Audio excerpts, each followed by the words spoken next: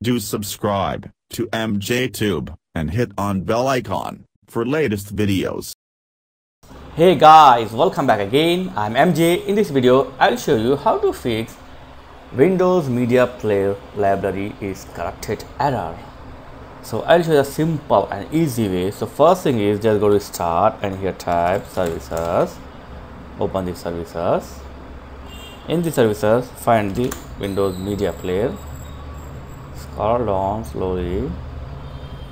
Okay, yeah, here this one Windows Media Player network sharing service. Right click on it and stop it. Okay, if the service is running then you need to stop it so after you stop close this window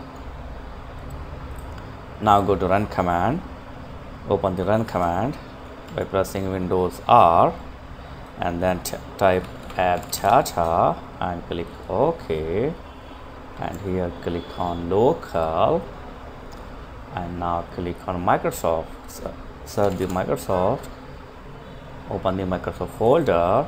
And under the Microsoft folder select the media player. Okay? Select the media player right click on it and delete one. Okay? So delete this. Select the media player and delete it. That's it. After this you need to restart your pc and hopefully this will fix your problem. So thanks for watching guys. Catch you next video please like share and subscribe. Thank you very much